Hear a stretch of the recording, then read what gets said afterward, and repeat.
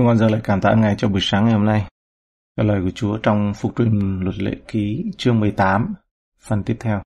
Ở trong câu 10, trở nên có thầy bói. Điều này liên quan đến bói toán kiểu chiêm tinh, dự đoán về tương lai hoặc tìm kiếm hướng dẫn thông qua các vì sao tinh tú, những đám mây hoặc thời tiết, xem thời tiết. Kalan nói rằng thầy bói là dự đoán tương lai bằng những dấu hiệu vật lý dựa trên chiêm tinh học. Thomson chỉ ra nó dường như đề cập đến việc bói toán bằng cách đọc các đám mây hoặc từ một loại rễ cây xuất hiện ở trong tiếng Ả Rập có nghĩa là tạo ra những tiếng động bất thường như krunhum. Đó là trường hợp nó có thể ám chỉ một loại câu thần chú nào đó. Hoặc mặc dù chiêm tinh học là phi khoa học, nó dựa trên giả thuyết rằng mặt trời quay quanh trái đất và vị trí của các hành tinh và các ngôi sao đã dịch chuyển và không bao giờ đồng nhất. Do đó, các ngôi nhà của Zodiac đã thay đổi. Zodiac là đai hoàng đạo. Đai hoàng đạo là một khu vực của bầu trời kéo dài khoảng 8 độ phía bắc hoặc nam, tính theo hệ tọa độ thiên văn của hoàng đạo. Đường đi rõ ràng của mặt trời trên khắp thiên cầu trong suốt một năm. Các đường đi của mặt trăng và các hành tinh khả kiến cũng nằm trong vành đai của đai hoàng đạo, trích dẫn của Wikipedia. Bất chấp tất cả những điều đó, 32 triệu người Mỹ tin vào chiêm tinh học. Có 10.000 nhà chiêm tinh học trọn thời gian và 200.000 nhà chiêm tinh học bán thời gian ở Mỹ. Ba trong số 4 tờ báo đăng chuyên mục tử vi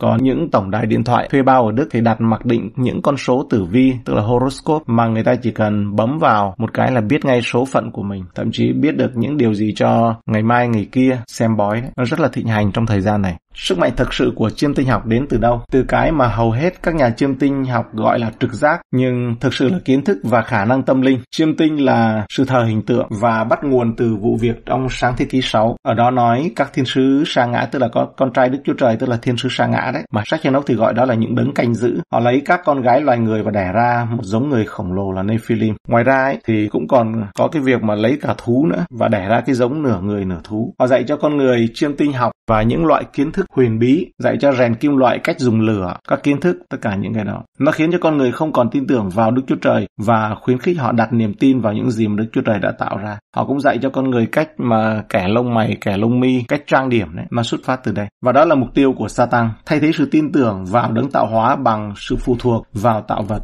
Chương trình của Đức Chúa Trời cho mỗi người ấy, thì được thay thế bằng tử vi, bói toán số phận, xem ngày tháng. Từ đó mới có là mùng 5, 14, 23 đấy, việc mà xem ngày và bói toán. Do đó, Kinh Thánh rõ ràng cấm chúng ta tham gia vào chiêm tinh học bao gồm việc bói toán tử vi, xem tướng và tính toán biểu đồ về ngày sinh. Đó là một thuật huyền bí, nó có nghĩa là liên quan đến những kiến thức bí ẩn, tìm kiếm kiến thức tâm linh ngoài sự mặc khải của Đức Chúa Trời. Là một nghệ thuật căn bản, có nghĩa là nó là nền tảng cho tất cả những người theo huyền bí học. Nó được nghiên cứu bởi các phù thủy và pháp sư. Mỗi cơ đốc nhân cần nên từ bỏ bất kỳ sự dính líu nào mà họ từng có với chiêm tinh học hoặc kẻ hay xem sao mà bói cùng 10. Từ này xuất phát từ gốc chữ rít hoặc là thì thầm, rít rú hay là thì thầm và dùng để chỉ các nhà ngoại cảm và thầy bói sử dụng những vật trợ giúp không phải là những thứ được tạo ra tự nhiên để đạt được kiến thức hay là tri thức nói về tương lai và làm phép các loại phép. Ngày nay những người này gọi là đọc bài tarot hay là tiếng Việt mình gọi là cầu cơ đấy. Người xem quả cầu pha lê, dùng quả cầu pha lê để mà bói, những quả hình tròn trong như pha lê đấy. Những người đọc lá trà ở Việt Nam là xem chân gà đúng không? Lá trà, rễ cây, xem các loại đọc lá cọ, sử dụng các bảng cầu cơ rồi những thứ tương tự một cơ đốc nhân không có một cái cơ sở hợp lý nào để tham gia hoặc là chấp thuận bất kỳ thực hành nào trong số này. Chúng ta không có cái việc gì ở đây cả. Bởi vì hoặc chúng là những trò lừa đảo ăn tiền, số cô là số cô chồng sinh con đầu lòng không gái thì trai đấy, buôn thần bán thánh. Hoặc tệ hơn nữa, họ có được kiến thức của mình từ các nguồn ma quỷ tâm linh. Đây là lý do tại sao mọi người, đặc biệt là trẻ em, rất nguy hiểm khi mà làm những việc cầu cơ lên đồng hoặc những trò ảo thuật đen tối này. Họ đang khai thác một nguồn sức mạnh tâm linh huyền bí có thật nhưng lại rất xấu xa, độc ác, nguy hiểm, gọi là không thể lường trước. Rất nhiều người đã bị hủy hoại bởi những trò chơi bói toán huyền bí, đây là đùa với lửa, tưởng rằng vô tội và sự thật rằng nó có một thế lực thực sự đằng sau. Những điều đó khiến tất cả chúng ta càng phải lo ngại hơn.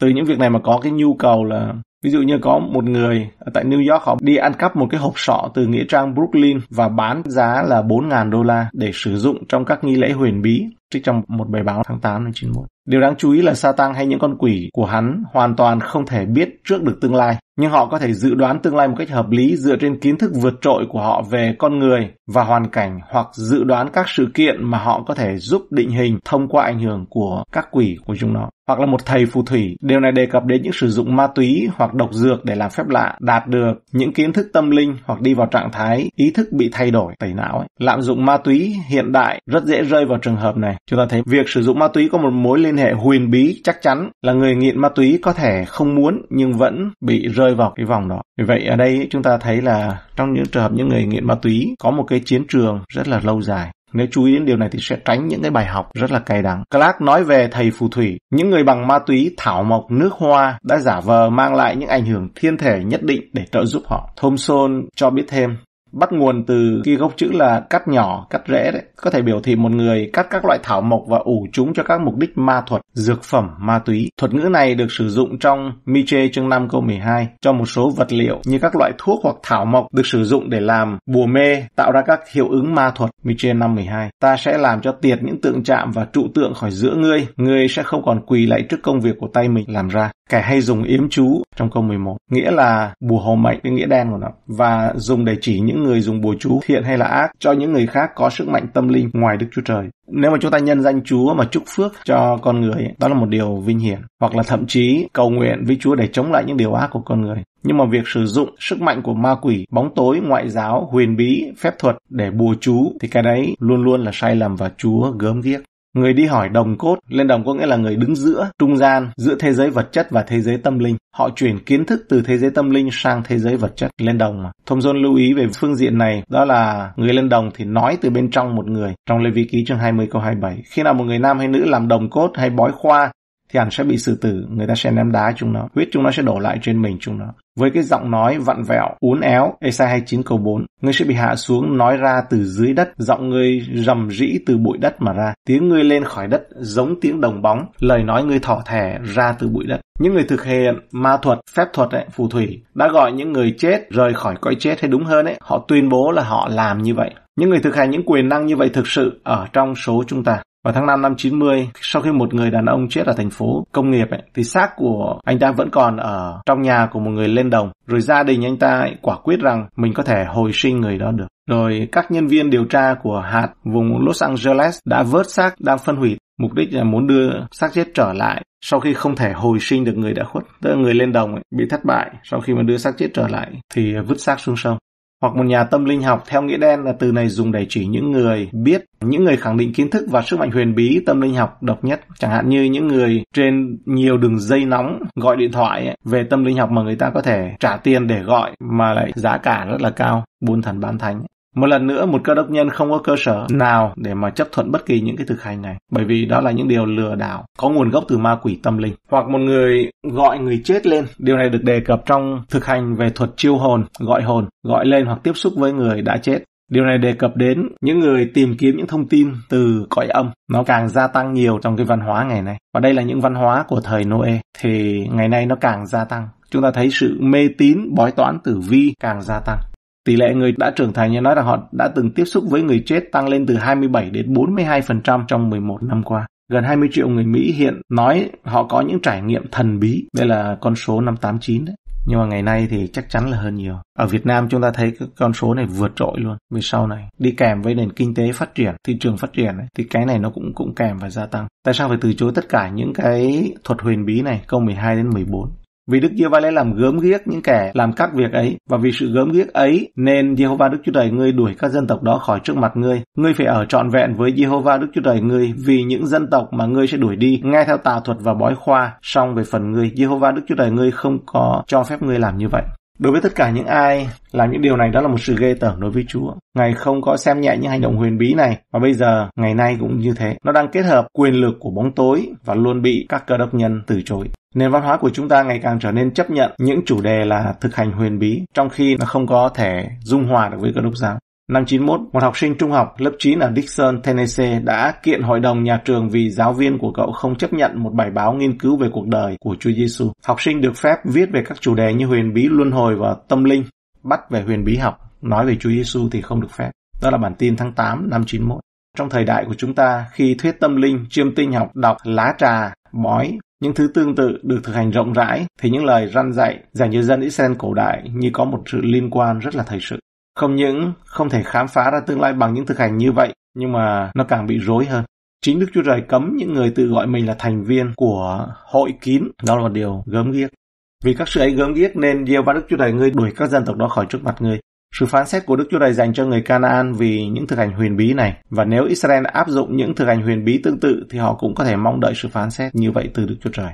Đúng vậy, người Canaan là những người tôn thờ tình dục để phục vụ nữ thần Atate, là nữ thần về tình dục và thần chiến tranh. Họ là những người thờ cúng tiền bạc và thành công, cầu sự thành công, cầu phát đạt để phục vụ cho thần Ba Anh.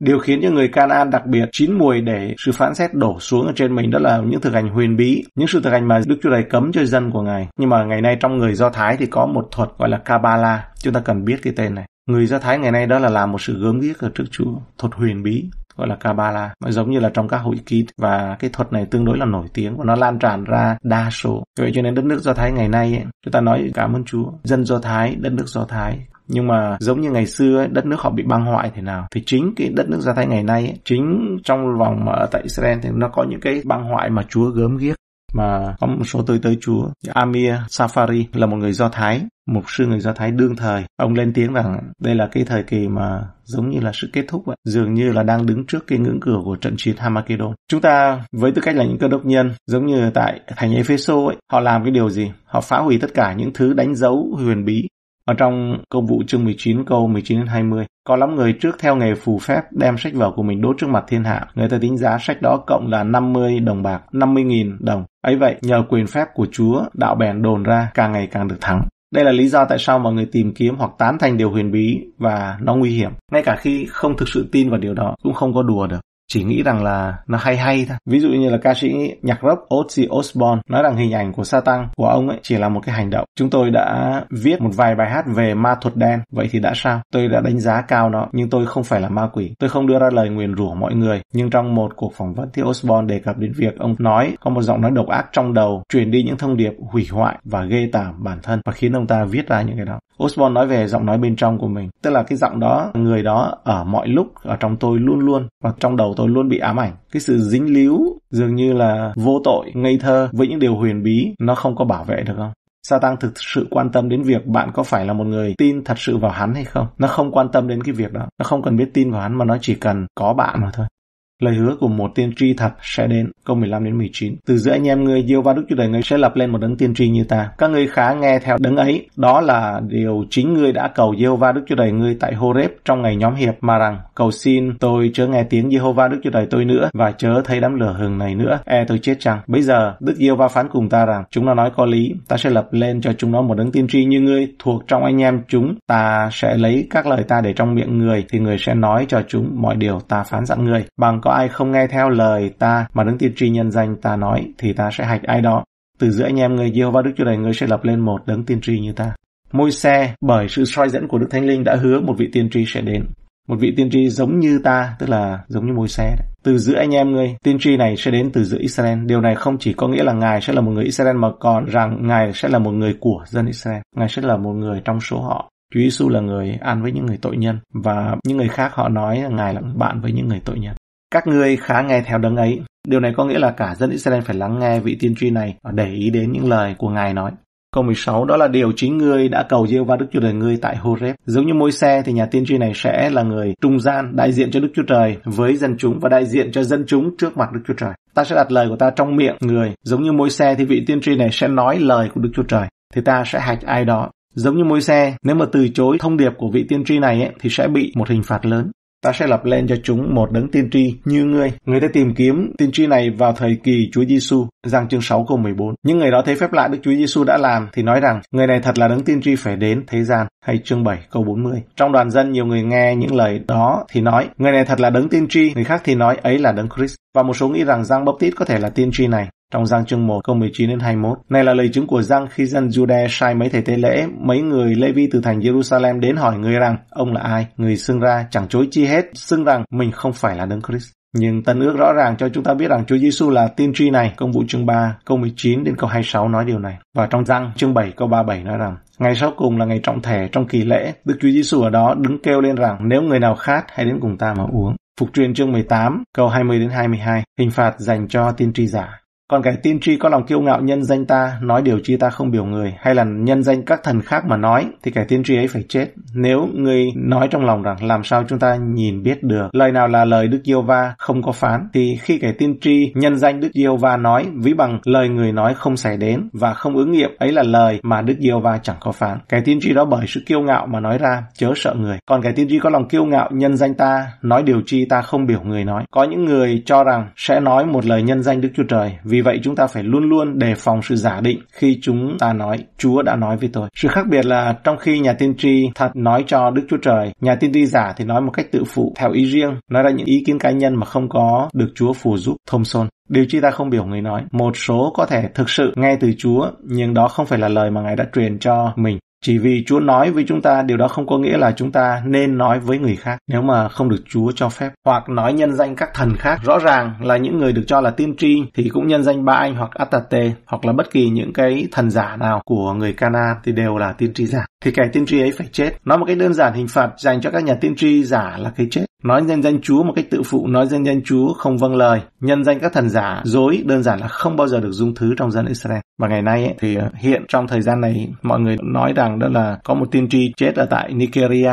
Nhưng mà những ý kiến thì nói rằng đấy không phải là tiên tri của Chúa. Những người khác thì nói rằng là ít ra nếu mà nói lời tiên tri sai ấy, thì cũng làm những dấu kỳ vào những việc quyền năng. Thì cái này là chúng ta chúng ta đứng thay Chúa mà phán xét rồi. Nếu mà Chúa đã nói rằng là tiên tri mà nói sai thì phải chết nhưng mà mình nói rằng đừng có chết tức là muốn giúp Chúa trong việc này nó xôn xao vào trên những cái bình luận. Làm sao chúng ta nhìn biết được thật dễ dàng để biết một nhà tiên tri nói nhân danh ba anh hay là Atate. Nhưng làm sao người ta có thể biết một nhà tiên tri nhân danh Chúa đang nói một cách tự phụ hay là không vâng lời? Đơn giản là bởi độ chính xác của chúng. Có nghĩa là nói sai là sai và không thể lấy điều đúng để ủng hộ cho cái sai. Nếu điều không xảy ra hoặc sắp xảy ra, đó là điều mà Chúa đã không phán. Nếu một nhà tiên tri nói Chúa đã phán như vậy, tuyên bố rằng điều gì đó sẽ xảy ra và nó không xảy ra, thì nhà tiên tri đó phải chịu trách nhiệm về lời tiên tri sai đó và chúng ta không còn coi người đó là một nhà tiên tri nữa. Cách đây không lâu người ta đã nhấn mạnh nhiều đến các nhà tiên tri trong một số vòng tròn cơ đốc giáo và nhiều người sẽ tiên tri rằng điều đó sẽ xảy ra và điều đó không có xảy đến. Tuy nhiên những người đó đã bảo chữa cho những lời tiên tri sai của họ rằng họ đang học hỏi, đang thử nghiệm, đang tập tành trong ân điển. Do đó không nên coi họ là những tiên tri giả. Mặc dù đúng là những người có thể cần phải học cách tuôn chảy trong ân tứ của Đức Thánh Linh, nhưng không ai được phép nói cái điều gì đó từ Đức Chúa Trời trừ khi họ chắc chắn điều đó là đúng. Đã vậy thì không nên nói là Chúa phán. Còn nếu mà sai ấy, thì đó là do mình, do cái sự không biết phân biệt của mình. Ngoài ra nếu các nhà tiên tri theo tiêu chuẩn này, theo giao ước cũ ấy, thì có nhiều người phải bị ném đá rồi. Và chúng ta ở trong giao ước mới thì tiêu chuẩn nó có thấp hơn hay không? Chúa Giêsu ngài đến để phá luật pháp hay là ngài đến để làm chọn luật pháp? Hiện giờ có sự tuôn đổ Đức Thánh Linh nhiều hơn hay là ít hơn? Theo giao ước mới chúng ta được Đức Chúa Trời hướng dẫn mật thiết hơn hay là ít hơn? Đúng ra là chúng ta đang ở dưới ân điển, vì vậy chúng ta không còn ném đá các tiên tri giả nữa. Tuy nhiên chúng ta không nên tôn trọng họ hoặc cho họ một cái danh hiệu hoặc chức vụ nhà tiên tri nếu họ là tiên tri giả, nếu họ là sứ đồ giả và nếu họ là những dấu kỳ phép lạ, chúng ta hãy đọc to và cần nghe nhiều những câu Mai theo 7 câu 21 22. Những kẻ gọi là làm dấu kỳ phép lạ đến gọi lạy Chúa, lạy Chúa. Nhưng Chúa bảo ta không biết các ngươi bao giờ. Để biết được điều Chúa sẽ nói. Thay vào đó, Tân ước nói tất cả các lời tiên tri, bất cứ khi nào ai đó nói, Chúa đã nói với tôi, tất cả những lời tiên tri phải được suy xét. Người nói tiên tri cũng chỉ nên có hai hoặc ba người nói mà thôi. có những kẻ khác thì suy xét. Một Cô Đinh Tôi 14 câu 29. Xem thêm trong một răng chương 4 câu 1. Hỡi kẻ rất yêu dấu chớ tin cậy mọi thần, nhưng hãy thử cho biết các thần có phải bởi Đức Chúa Trời chăng? Vì có nhiều tiên tri giả đã hiện ra trong thiên hạ. Tốt hơn là nên khiêm nhường mà nói tôi nghĩ Chúa có thể đã nói với tôi hay là tôi có cảm nhận như Chúa muốn nói, thay vì ấy, là quá tin tưởng và nói rằng Đức Giê-hô-va phán, lời Chúa phán với tôi. Tom Spy trong lời tựa của cuốn Sự hồi sinh giả mạo đã nói một cách mạnh mẽ về vấn đề các tiên tri giả trong hội thánh. Chỉ sau một vài năm, các nhà tiên tri dường như đang nói với mọi người về mọi thứ. Hàng trăm thành viên đã nhận món quà của lời tiên tri và bắt đầu có một cái làn sóng giống như là nghiện vậy ở trong con cái Chúa. Ngày xưa ấy thì là dân chúa đi cầu bói, còn ngày nay là đi cầu lời tiên tri. Và họ mang theo những cuốn sổ nhỏ chứa đầy những lời dự đoán tiên tri của các nhà tiên tri đã nói tiên tri cho mình. Đổ xô đến các hội nghị tiên tri, bắt đầu mọc lên ở khắp nơi, những đám đông ghi chép các cái sổ đó. Rồi hy vọng là được chọn để nhận được nhiều lời tiên tri. Chúng ta thử suy gẫm xem điều này có đến từ Chúa không? Trong một buổi giảng, có lời nói rằng có một người, có lúc thì gọi đúng tên người đó ra, có lúc thì nói rằng tên người đó bắt đầu từ vần A, B, C gì đó. Và chú phán thế này, nếu là bạn thì hãy bước ra. Chúng ta nghĩ rằng là các sứ đồ và những sự thực hành ấy có làm cái điều này hay không? Chúng ta thử suy gẫm xem ấy, đó là có phải là dấu chân của những sứ đồ và tiên tri, những người hầu việc Chúa đích thực ở trong kinh thánh Nhưng ngày nay ấy, thì như thế nào? Trong lòng thì bói mà khoác áo cơ đốc. Đám đông ghi chép, không lâu ít sau lời tiên tri trở thành nguồn định hướng chính, một loạt các tín đồ bị tàn phá và bắt đầu xếp hàng bên ngoài các văn phòng tư vấn mục vụ của chúng tôi, tức là tác giả đấy. Tại vì khi họ nghe lời tiên tri thì họ thất vọng. Những người trẻ tuổi được hẹn thành công trở thành những ngôi sao nổi tiếng thông qua lời tiên tri đã bị bỏ lại và nhặt những mảnh vỡ của hy vọng tan vỡ vì Đức Chúa Trời dường như đã quay lại những lời hứa của Ngài. Nhưng mà Chúa đâu có hứa đâu bị lừa các nhà lãnh đạo bị các tín đồ họ giận dữ bởi vì những cái lời tiên tri bị thất bại đó và các chức vụ ảnh hưởng sau những cái mục vụ sự hoạt động không có ổn định của những người tiên tri sứ đồ mà như ngày nay chúng ta thấy một số người nhanh chóng trở nên mù chữ về kinh thánh làm cho con dân chúa càng đi theo ấy càng mù chữ về kinh thánh chọn lối sống theo kiểu bấm số